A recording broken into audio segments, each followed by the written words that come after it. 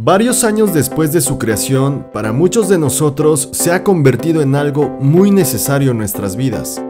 Google es capaz de procesar mil millones de búsquedas diarias, según la propia empresa, y es el sitio web más visitado del mundo.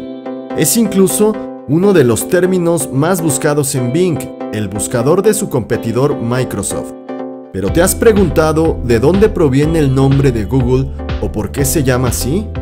Acompáñame a descubrirlo. Quédate aquí en Hey Bros.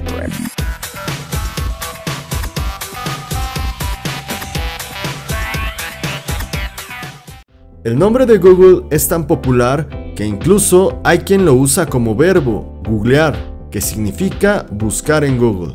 Sus fundadores Larry Page y Sergey Brin quisieron crear un sitio de internet que clasificara las webs en función del número de páginas que hacían referencias a ellas.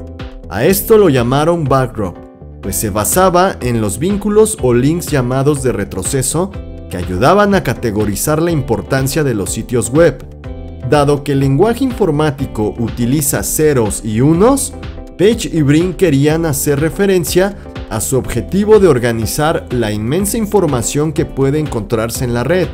Pero en 1997 le cambiaron el nombre a Google querían hacer honor al término matemático Google, que es el número 10 elevado a la potencia de 100, es decir, una enorme cantidad de ceros. Es así como nace el nombre y el dominio google.com y fue registrado el 15 de septiembre de 1997, según la Universidad de Stanford.